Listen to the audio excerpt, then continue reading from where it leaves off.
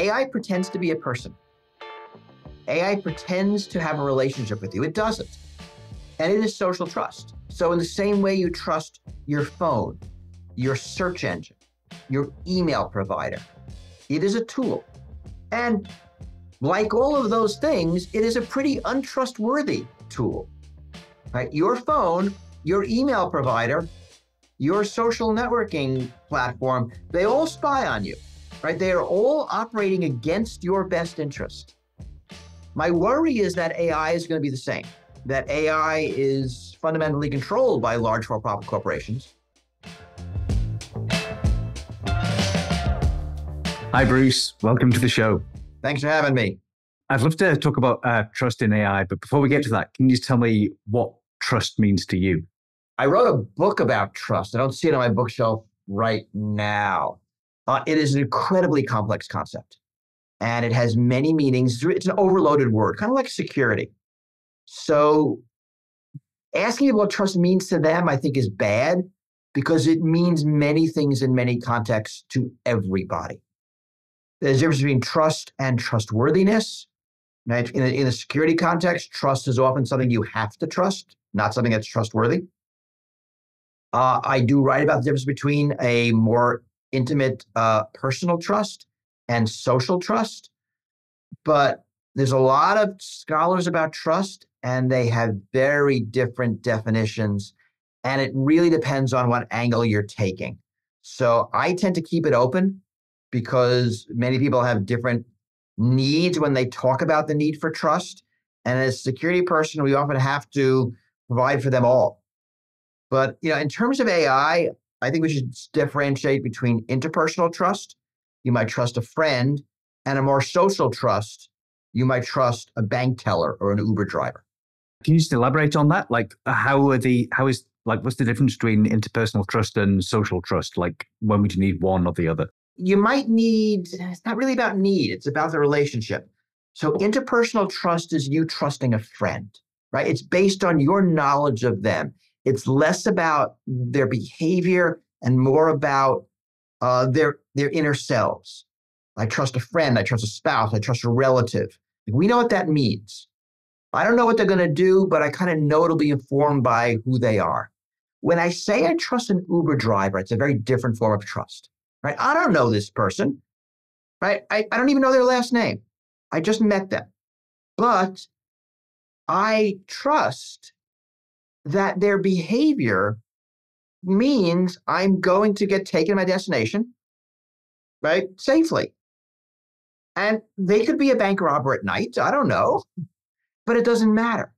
So, for social trust, there are systems of society that enable that. I mean, the reason I don't just get in the car of random strangers, but I get in the car of random strangers who are Uber drivers, there's an entire system based on surveillance, based on competition of star rankings, based on whatever background checks Uber does, based on my history, based on, on their history, that enables us to trust each other in that interaction. Right? Same thing when I hand cash over to a bank teller. I don't know who they are. I'm giving them my money. But I know there's an entire system that the bank has to allow me to trust that person in that circumstance. If we walked outside the bank down the block, I would never give that person my money, like ever. But in the bank, I would. And that's the difference. And it's a really important difference because social trust scales. Interpersonal trust is only based on who I know. It's not going to be more than 100 people in society. And it'll probably be less than that. But social trust, I could trust thousands, millions of people, right? I flew in an airplane yesterday. Think of all the people I trusted during that process, including like all the passengers not to leap over and attack me. And, you know, I mean, that, that's a little bit funny, but if we were chimpanzees, we couldn't do that. So social trust is a big deal. It is unique to humans and it's it makes society work. So it seems like um, social trust is then going to be incredibly important when it comes to AI. So Uh, in the same way that um, you mentioned the, the bank example, where there's hundreds of different people involved in sort of uh, creating all these systems to make sure that social trust works, what's the equivalent that's needed for trusting AI? So AI is interesting because AI pretends to be a person. AI pretends to have a relationship with you. It doesn't. And it is social trust. So, in the same way you trust your phone, your search engine, your email provider, it is a tool. And like all of those things, it is a pretty untrustworthy tool. Right? Your phone, your email provider, your social networking platform, they all spy on you, right? They are all operating against your best interest. My worry is that AI is going to be the same, that AI is fundamentally controlled by large for profit corporations, that surveillance capitalism will be, uh, you know, unavoidable as a business model. And these systems will be untrustworthy. You know, we want social trust with them, but we won't have it. And because they are relational, because they are conversational, they will fool us. Right? We will be fooled into thinking of them as friends and not as services. Whereas at best, they're going to be services. So I worry a lot about people uh, misplaced trust in AI. That certainly seems like uh, it could be a, a, very big problem when you sort of start giving away all your sort of most personal details or intimate thoughts to uh, some AI that isn't actually as trustworthy. You know, but, but so yeah, so yes and no, right? Already, your search engine knows more about you than your spouse, than your best friends. Right? We never lie to our search engines. They know about our hopes, our dreams, our fears, whatever we're thinking about. You know, similarly, our social networking platforms know a lot about us. Our phones, right? They know where we go, who we're with, what we're doing. So we are already giving a lot of personal data to untrustworthy services. AI is going to be like that. And you know, when I think about AI digital assistants, I think it's one of the holy grails of personal AI, an AI that will be my uh, travel agent and secretary and life coach and relationship counselor and you know concierge and all of those things. We're going to want it to know everything about us. We're going to want it to be intimate because it'll do a better job. And now how do we make it so that right it's not also spying on us and that's going to be hard so in terms of being able to know when it's appropriate to have those sort of um, trustworthy interactions or those intimate interactions. Like, um, is there any way to gauge how trustworthy some AI is, or have you just got to assume that it's it's not trustworthy? We have to assume that the AIs that are run by Meta and by Google are and by Microsoft and Amazon are going to be no more trustworthy than all of their other services. I mean, that would be foolish to think that Google, whose business model is spying on you, would make an AI that doesn't spy on you. I mean, maybe they won't, but that's not the way to bet. And, you know, surveillance capitalism is the business model of the internet. Like pretty much everything spies on us. Your car spies on you, your refrigerator spies on you, right? your drones, I mean, whatever it is. You know, we, we see again and again how surveillance is pervasive in all of these systems. So we can't expect different here. And I think it'd be foolish if we did. You know, uh, if we want different, we're going to have to legislate. It's our only hope. I think you're right that, like, at the moment, all the sort of most powerful AIs are created by these large technology companies. So you mentioned the idea of legislation. Like, is there on uh, is there an alternative to this sort of corporate AI? I push for the notion of public AI. I think we should have at least one model out there. I don't need I don't need a lot. I just need one that is not built by a for-profit corporation for their own benefit. And it could be a university doing it. It could be a government doing it. It could be a consortium, uh, an, right, an NGO. And as long as it is public, and by this I don't mean uh, a corporate model that has been made public domain. So the llama model doesn't count right? That is still a corporate model, even though we have access to its details. It needs to be a model built ground up on, on sort of non-profit principles. This feels important. The other thing, you get a different kind of AI. I don't need it to dominate. I don't need it to, to transplant all the corporate AIs. I need it in the mix, right? I need it to be an option that people can choose and an option that we researchers can study in opposition to the corporate AI and sort of understand where the contours are. Uh, you know, it's not a big ask. Uh, models are expensive to build, but in the scheme of government expenditures, they're cheap. And models are getting cheaper all the time. But this feels important. You know, if we're to understand how much and how we can trust corporate AI, we're going to need non-corporate AI to compare it to. Right? Otherwise, we're not going to be able to make good decisions. Uh, so this is a really interesting idea, just having this sort of counterweight to the corporate AI, just having a, a public model. Um, so there are different sort of levels of um, openness. Uh, so, I know, for example, the meta models, they're sort of open weights, but they don't give you enough details to reproduce everything. So, how, just talk me through how much of it needs to be open and publicly available. I think uh, all of it. Mean, built ground up by the public for the public, I mean, and, and in a way that requires political accountability, not just market accountability. So, openness, transparency, response to the public demands. Uh, so, we know the training data, we know how it's trained, we, we have the weights, we have the model. And, and that now becomes something that anybody can build on top of. So universal access to the entire stack.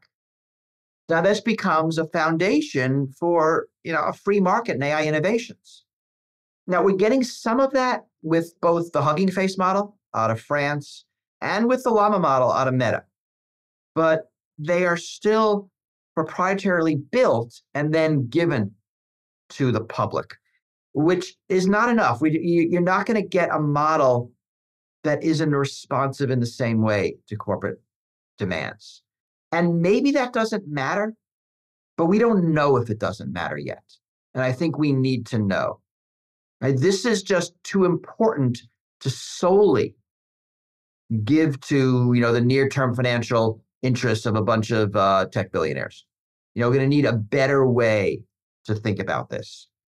And, and the goal isn't to make AI into friends, but you're never going to get interpersonal trust with AI. I mean, all I want is reliable service. In the way Uber is a reliable service, even though, you know, I don't know or, you know, in this interpersonal way, trust anybody involved in that system, right? The, the way the mechanism works allows me to use Ubers anywhere on the planet without even thinking about it. And that's kind of the way trust works well like when I get in an airplane, I don't even think about, you know, do I trust the, the pilot, the plane, the maintenance engineers? The, I mean, I know because of this social trust that Delta Airlines puts well trained and well rested crews in cockpits on schedule. I don't have to think about it. Right? When I go to lunch in uh, about an hour or so, I'm not going to walk into the kitchen and like check their sanitation levels. I know that there are health codes here in Cambridge, Massachusetts that will ensure that I'm not going to die of food poisoning. Are these perfect? No. People do occasionally get sick in restaurants. Airplanes occasionally fall out of the sky, but largely it's good enough. Right? And you know, there are Uber drivers that commit crimes against passengers it's largely good enough. And actually, I think ta- uh, Uber drivers are interesting. Taxi driver used to be one of the country's most dangerous professions. It was incredibly risky to be a taxi driver in a big city. And Uber changed that, right? Through surveillance that enables this social trust. There's a, a, lot to unpack there. I hadn't realized that taxi driver was such a, a dangerous occupation, but it's interesting that um, these sort of additional regulations, like um, so, uh, for example, you mentioned with restaurants, there are regulations around sanitation and making sure that the food is going to be uh, healthy and not going to put food poison people is sort of beneficial and helps things scale.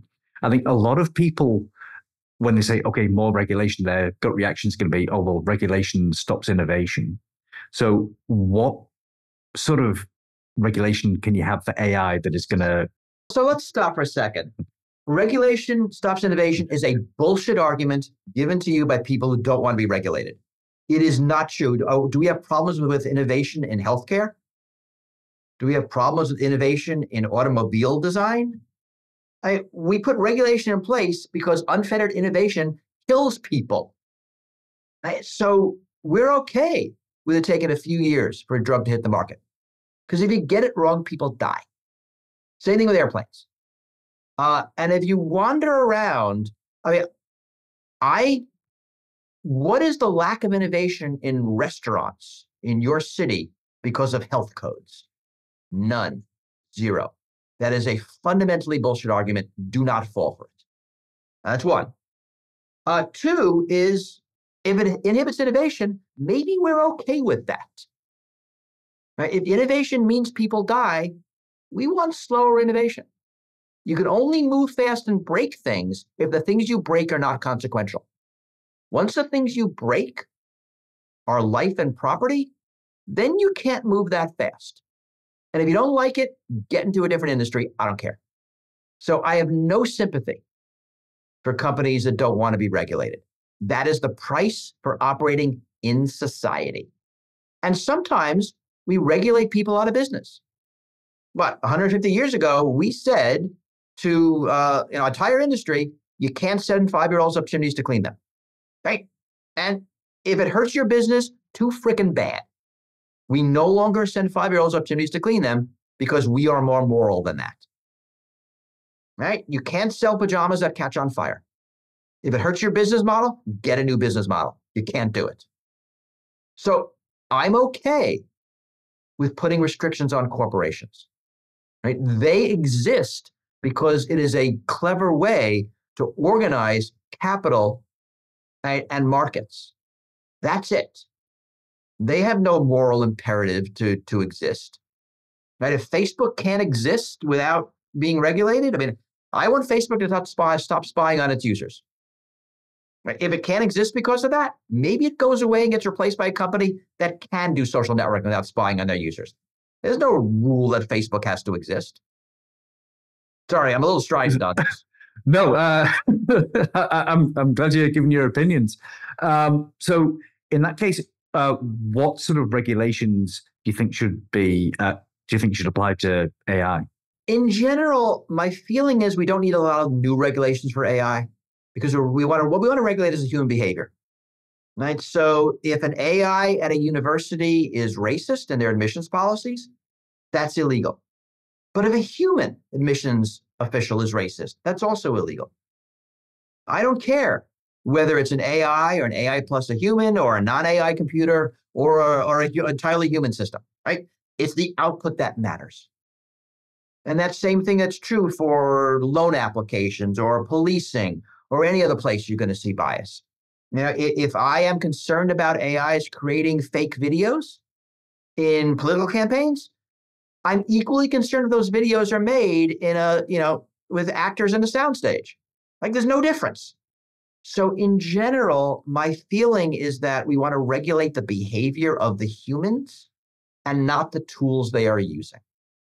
Now, after saying that, AI is a certain type of tool and will need some specific rules, right? Just like we, like poisoning someone is illegal, and also, we make it harder for average people to buy certain poisons, right? We do both.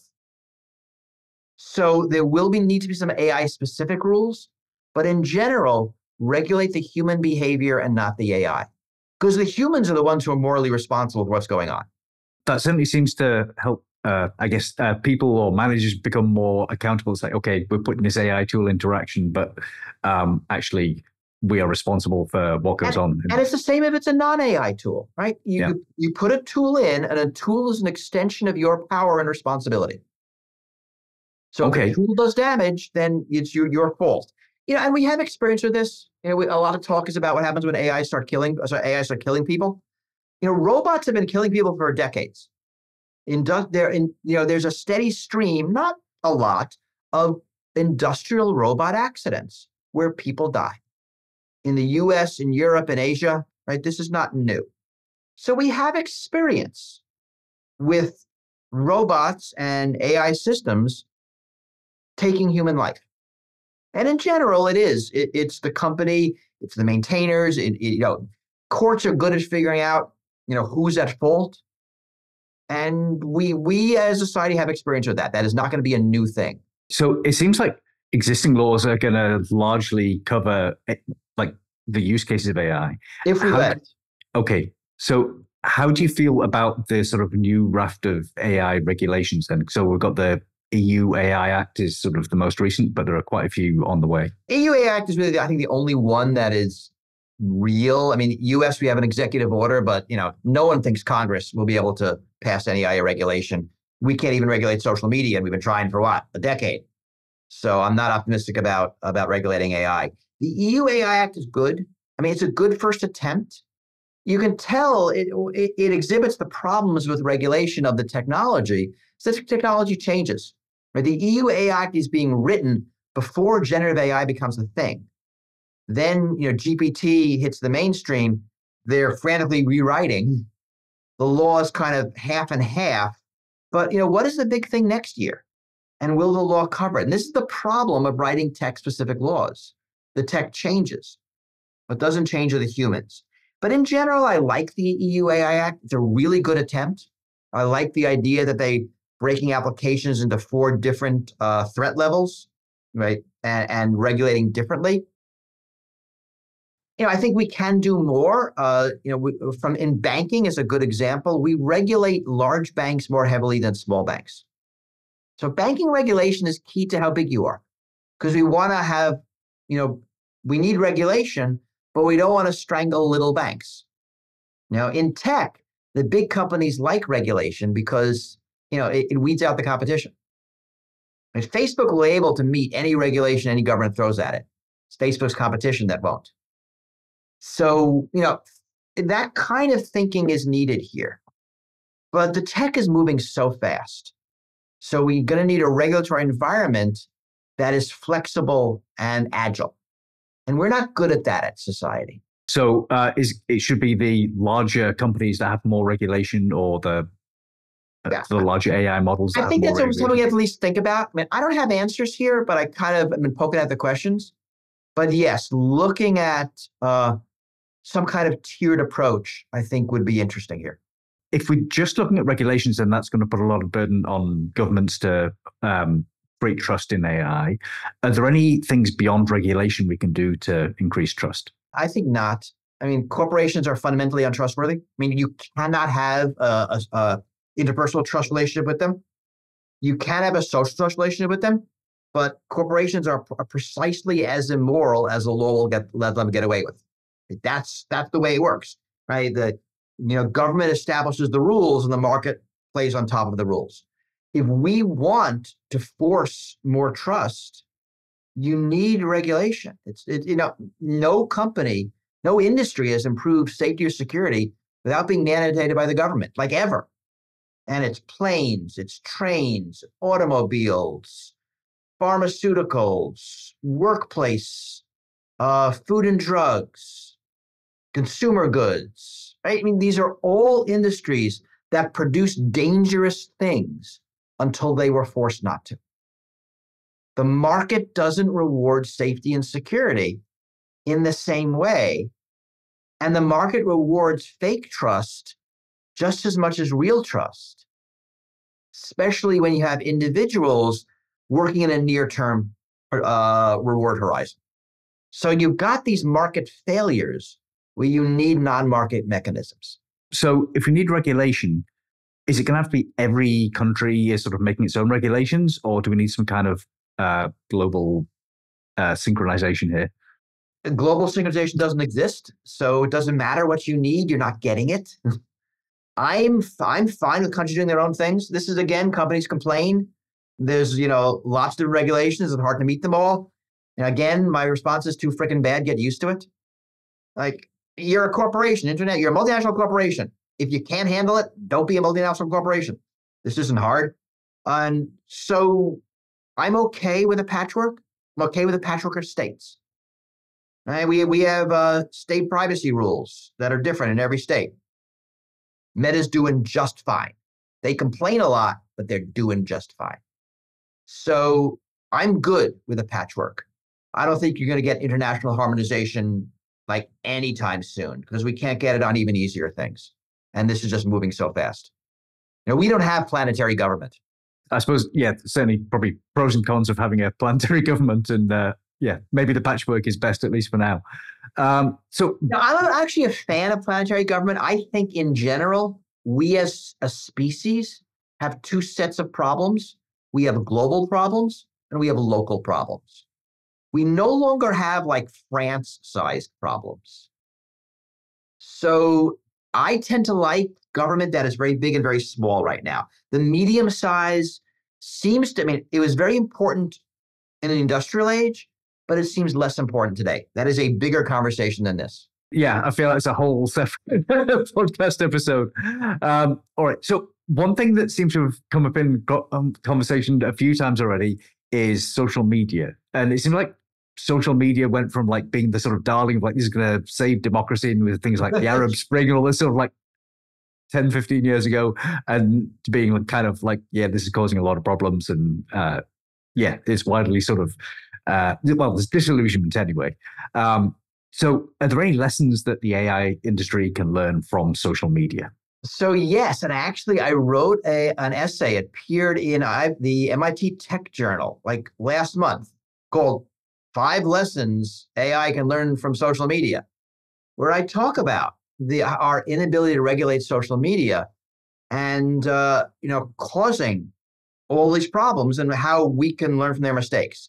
And it's things like virality, it's things like surveillance, lock-in, in monopolization. I think that's the big one. That uh, the biggest problem with social media is that they're monopolies. And that means they just don't have to be responsive to their users or their customers, which are the, the, the advertisers actually, but but their users most importantly. And and anything we can do to break up the tech monopolies will be incredibly valuable in in, in all of this. And that's the biggest lesson. So you think um, in this case, I guess for anyone to think about regulation, you think, well, okay, these AI companies, they're going to be monopolies and therefore you need to regulate them as monopolies. Is that is that the idea? Yeah. I mean, I, I, I mean, monopolization as a, if you're a monopoly, you have a lot more power to shape the market and not respond basically to, uh, to market demands, right? You can, uh, operate outside, you know, the basic tenets of a capitalist market system. And, and that, and that breaks, that breaks the system. So I need there to be competition. I need, I need sellers to compete for buyers. Right? That is how I get a vibrant market. And if sellers aren't competing with each other for buyers, you don't have that dynamic. And that's what's really important. Um, and do you think that sort of that monopoly market is going to be inevitable for uh, for AI, particularly for generative AI, or do you think there will of be that? Of course, it's not inevitable. It's, it's it's it's only enabled by the ability of corporations to ignore antitrust law. You know, we have laws in place to try to protect, protect prevent monopolies.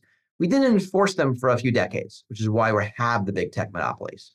Uh, they are starting to be enforced again now, but you know the the power imbalance is great. So we'll see how uh, how it goes. But you know, EU is doing better than the US. And in a sense, the EU is the regulatory superpower of the planet. I mean, I look to them more than the US to uh, you know, to keep these companies in check.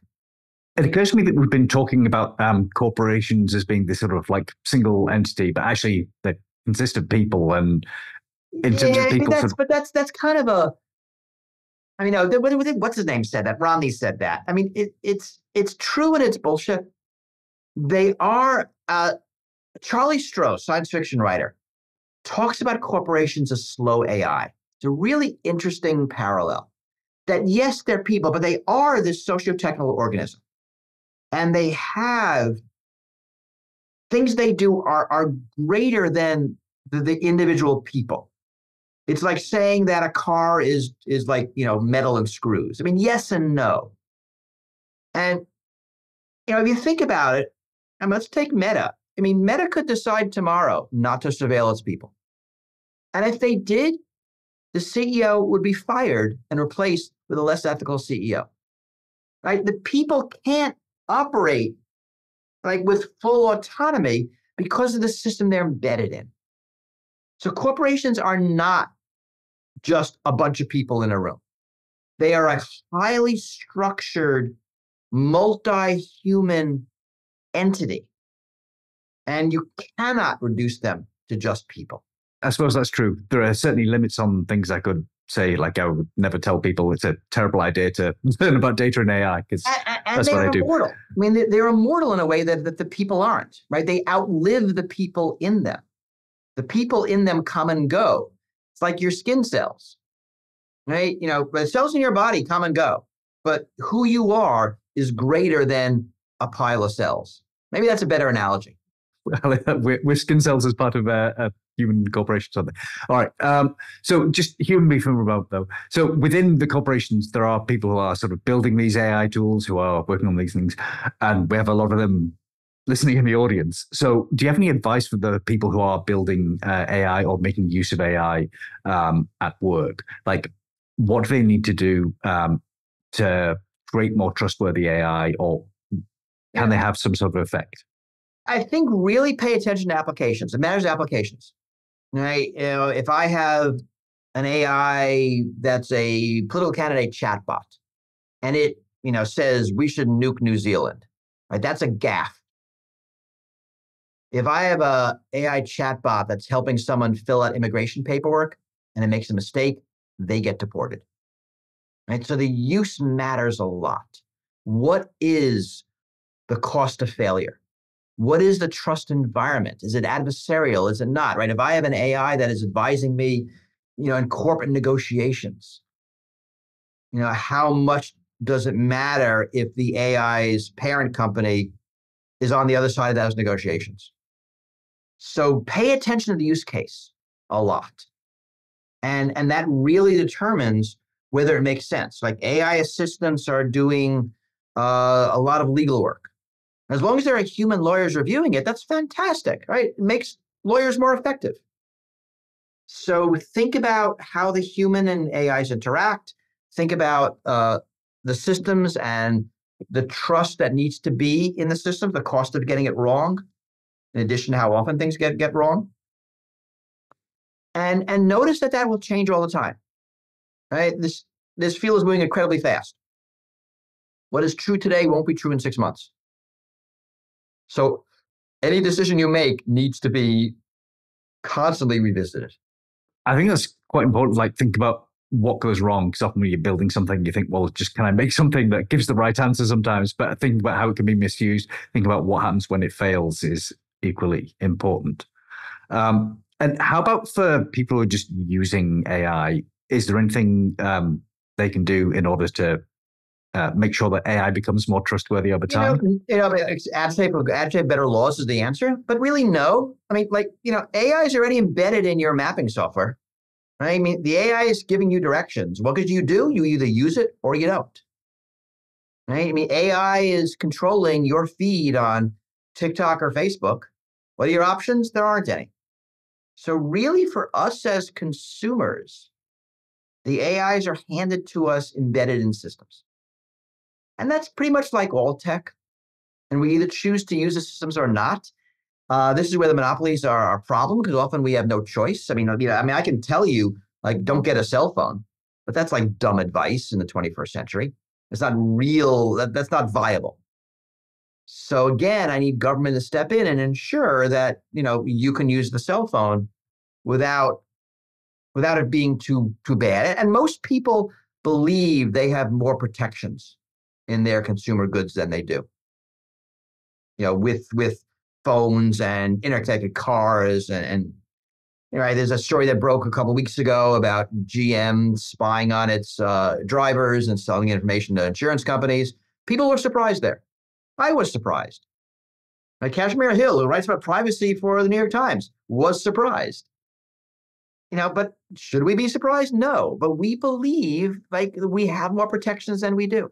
So it seems like if we don't have those protections, then that's going to break down the social trust. Then, uh, to go back to your original point, I, I mean, it, and it does, and I think this is why you're seeing what we mentioned a little bit earlier: this backlash against social media. You know, we thought it was all good, now we think it's all bad. I mean, the truth is in the middle, but it, you know, we thought we could trust them. It seems like there are some sort of good possible futures and some bad possible futures. Um, what's your sort of ideal situation here? Like, what happens next that you think will make things go well? I think that AI as assistive tech is phenomenal. And and you know, a lot of what goes well is human plus AI, and a lot of go, what goes poorly is AI replacing human. At least today, right? A few years it might be different. So the more we leverage these technologies to enhance humans and really to enhance human flourishing, the better we're going to do. Now, that is not necessarily where the market's going to push. Market will push towards replacement because that is cheaper. But that has a lot of downstream effects, right? You know, massive job loss is just not good for society. And we might want to think about ways to, you know, ways to help people that aren't tied to their jobs. In the United States, all of your stuff is tied to your job. I mean, unlike Europe, right? The US, in Europe, they got healthcare through the political process. In the US, we got healthcare through collective bargaining. And that didn't matter in the 50s. They both worked. But here we are in this decade, it means your healthcare is tied to your job in a way it's not in Europe. And that's not serving us well right now. So if we're going to see massive unemployment because of AI, we need to figure out some other way to deliver basic human services that aren't tied to your job. So that's not great because we as society really have trouble doing all these things. So that's kind of meandered a bit here. Get me back on track. no, uh, that's that, we started off going down the happy path and then sort of turned into disasters. yeah, I, mean, happy, I think there's an enormous power in AI. I am mostly optimistic. I mean, I know I'm a security person and I say a lot of pessimistic things, but I am mostly optimistic here. I think this will be incredibly powerful for democracy, for society. And uh, so that's that's a lot of what I'm writing about now. And I think it's true. So maybe we'll try and finish on a happy note. So what is it that you're most optimistic about? I think there's enormous power in AI as a mediator and moderator and consensus builder. And, and a lot of the things I think AI will do for us are things humans can pers- perfectly capably do. We just don't have enough humans. So putting an AI moderator in every Reddit group, uh, in local online government meetings, in, in you know, citizen assemblies on different issues be incredibly powerful. AI doing adjudication. Uh, I think AI as sense maker, explaining to people political issues. AI is an infinitely patient teacher. So instead of reading a book, you engage in a conversation. I think it makes you a better person if we can get that working at scale. Think enormous values of AI as a doctor. I mean, there are parts of this planet where people never see a doctor because there aren't enough doctors. Right? But an AI assisted nurse will be just as good in, in almost all cases. I mean, there's phenomenal potential there. AI is doing research, especially research that is like big data pattern matching. We're already seeing articles about AI and drug discovery. I think there's a lot of, of potential there. And so, really, I look for places where there aren't enough humans to do the work. And AI can make the humans that are doing the work more effective. Lots of uh, incredibly positive things there. I really like the idea of um, an AI moderator. That's something that hasn't cropped up in many discussions, really. So that that's pretty. Uh, course, I just said that you are replaceable in this podcast. So. Uh, yeah, uh, there's a story about, about, a few months ago. I was interviewed by a podcaster back like last summer. ChatGPT is becoming a big thing initially, and they said I went to ChatGPT and asked a bunch of interview questions. I asked it to come up with interview questions for you. And, and here they are. And they were fantastic interview questions. Like one of them was if you were an action figure, uh, what was it? What would your accessories be? Like, I'd never gotten that question before. That's brilliant. Okay, so uh, don't ask that. I guess my days are numbered as a as a podcast. Maybe look out for AI Richie. Um, Isn't there an NPR episode on AI where they had the AI come up with a podcast uh, and it asked questions and it came up with a little sketch uh, on the topic? It's most like three part. Look it up. I I think it was some NPR program. Might have been All Things Considered. Absolutely. Actually, I just recently saw um, Reid Hoffman interviewing an AI version of himself, and uh, yeah. That was exciting. Uh, yeah, it's uh, it's it's getting very close uh, to yeah, Richie is replaceable. Um, all right, so uh, just to finish up, uh, do you have any advice for people? Is there like some action you think people should take in order to you know get towards this happy path of AI being good? I, I mean, to me, this has to become a political issue. And nothing will change unless government forces it. And government will not force it unless we, the people, demand it. I mean, I want these things discussed at presidential debates. I mean, I want them to be political issues that people campaign on, like that matter. In the same way that inflation matters, and unemployment matters, and and you know, U.S. China policy matters. It needs to matter to us. Otherwise, the tech monopolies are going to just roll over the uh, the government because that because that's what they do, right? They have the money, they have the lobbying, and it's very hard to get uh, policy that the money doesn't want. It's really hard. I think uh, call to action there for everyone to start writing letters to their uh, their local uh, representative. To get their AIs to write letters to the local representative. Oh yeah, yeah. Get nice to write letter. There we go. Technology solving the problem again. Nice. Uh, all right. Thank you so much for coming on the show, Bruce. That was brilliant. Good luck. Thank you.